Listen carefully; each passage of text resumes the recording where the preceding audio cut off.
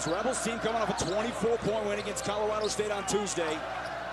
Hit 51 points in the opening half, and the step back for Blair.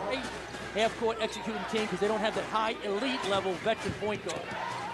They don't, but they have a high elite level scorer in Bryce Hamilton. Pulls down the board on the season, nearly 17 a game, four boards, five assists.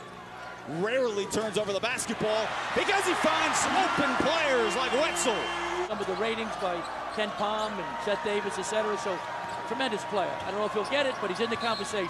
Mitrou-Long fouled, count the shot. He was certainly beyond the three-point line. Coach Dutcher wanted a flopping call on UNLV, said he kicked his leg out. His leg came down pretty parallel. Third in the country, he's really tremendous. Want to take it easy now, don't go crazy. He draws another oh! foul, counted in the opportunity for three. What an opening 10 minutes for Amauri Hardy. Jay Green is only 6'5". Now they force another turnover. Mitrou-Long all by himself. This is the largest deficit that San Diego State has faced in conference. Flynn pulls down his fourth rebound.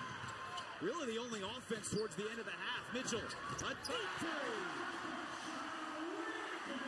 Place where I could win. I didn't think 26 and 0 would happen, but certainly I knew I could win here. Right. Hardy, tough shot. Rolls. Oh my goodness. It's a big miss. Run a rebel.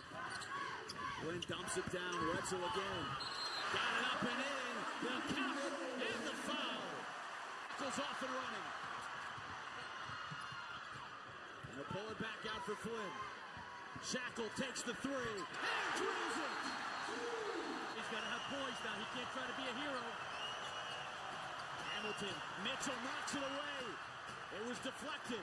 Two on the shot clock. Mitrou-Long trying to beat the buzzer. Oh. What a shot by the grad transfer. Answered. Shot clock coming down. For the Aztecs. 25%.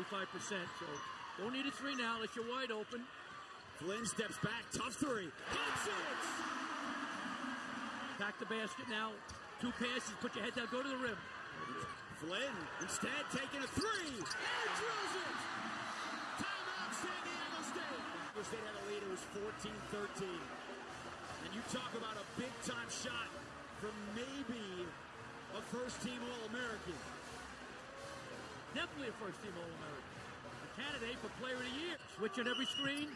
No timeouts remaining. Mitrou-Long is going to go one for four. Mitchell, it's tapped around. The clock starts.